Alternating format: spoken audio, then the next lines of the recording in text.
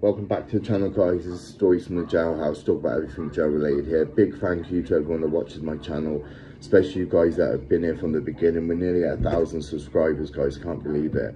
Um, if you've not been here before, I'm someone that spent, uh, you know, 11 years of my life in and out some of the toughest prisons in England. I started that journey only 15 years old and at 27 I remember coming out and thinking, do you know what, I want more from life than this. I didn't know where I was going to start, what I was going to do, but I just knew that I was done with prison. And, you know, lucky enough, I got into strongman and, you know, I absolutely loved it. It wasn't just plain sailing. I talk about how difficult it is in my other videos. But today I want to talk about that series on BBC Three. It's called Time, right? And the attacks that happened and you see in the program a lad gets hot water and, and sugar thrown in his face. Now, just for you guys, the devastation that hot water causes to naked flesh is absolutely horrific.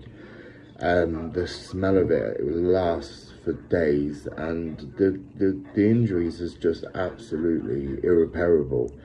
You know, I remember, I remember um, some Welsh guy, he was watching the rugby um, two Iraq people came in from behind and poured boiling hot fat over his head. And he got in his hair but you know what? That guy just got up and started fighting these guys. He was an absolute fucking warrior. He was a bloody psychopath but i tell you what you know how he got up from that and started fighting was beyond me. I was just sat there and i was really young and i was just like oh my god this place. Um and yeah, so another way they use to attack you is by the old razors on a toothbrush. You know, a lot of the time that gets fucked up though. A lot of the time I've seen people try and slash someone and the razor breaks, the toothbrush breaks in half.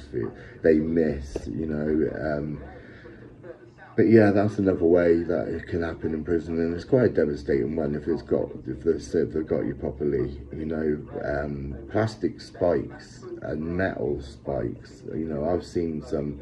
I've seen some people nearly build some fucking swords in there out of some stuff. You know, they're so creative. If they got into anything else outside that was normal, they would have fucking flourished. But you know, they got into fucking crime.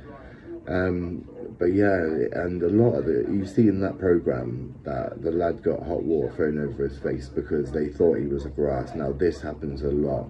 In prison, it is full of, you know, paranoia. I've never seen men talk like women before, but in prison they do. They're bitchy. And you get people that just want to hurt other people. So that there's a guy that will always talk out someone else into it because he wants to be paid.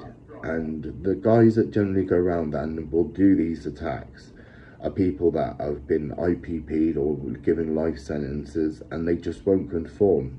They won't and they've spent half their life down the segregation unit. And they'll come up from the segregation unit and they won't be up on the wing for long. They can't cope. End up attacking someone else or attacking a screw or you know they'll they're so volatile they're so angry and you know and they just won't they won't they won't conform to prison life. And then they're the people you have to watch out for not people that look like me you know the people like them you know. You see a lot of the Scottish guys walking around with cuts on their face you know. Knife crime in Glasgow is terrible and you know from an early days they are um, cutting each other with knives. And so with they in jail, you got to watch out for them. you got to watch out for everybody, to be fair, because even your so-called friends in there can turn on you.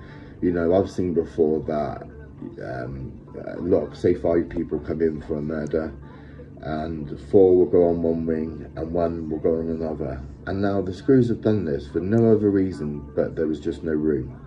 Now, the minute he lands on a different wing, people will start going, do you reckon he's a brass? Do you reckon he's an informant? And no, probably not, no.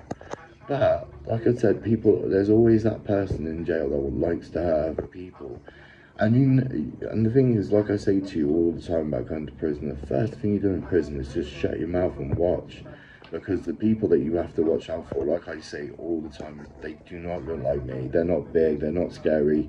They're just normal little people and they will fucking destroy you and they will they will absolutely change how you, how you look. And because in prison, you've only got about 30 seconds before the screws are on you. So if you really want to hurt somebody, that's the road they go down. There's no more fights in prison, not straight. It's not like they used to be. I remember when this black guy from Gloucester, oh, I can't remember his name. If you guys know what his name is, he got five years for rape. Um, he was a nasty fucker, a big black guy and he had a fight with this other uh, travelling boy on, on the prison yard. Now, that was a proper fight, mate. They had a fight. They were fighting for about five minutes. They were both big lads, and, you know, that's probably the best fight, what straight now I've ever seen. Other than that, most of the time it's been nasty attacks, and they are nasty as well, you know, because they're life-changing. You know, the ears being bitten off and stuff like that. It's just, it's a really, really cruel, nasty place.